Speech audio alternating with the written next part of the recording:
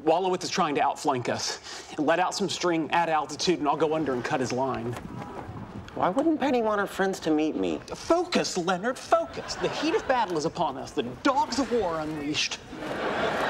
Maybe Koothrappali's right. Maybe I embarrass her. You're embarrassing me right now. A grown man worrying about such nonsense. We're in the middle of flying kites.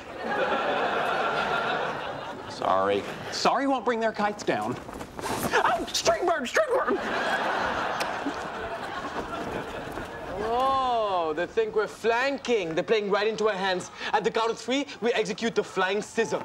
One, two, three. You see that? See what?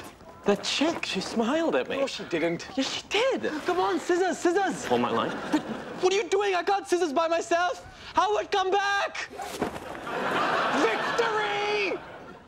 Son of a bitch.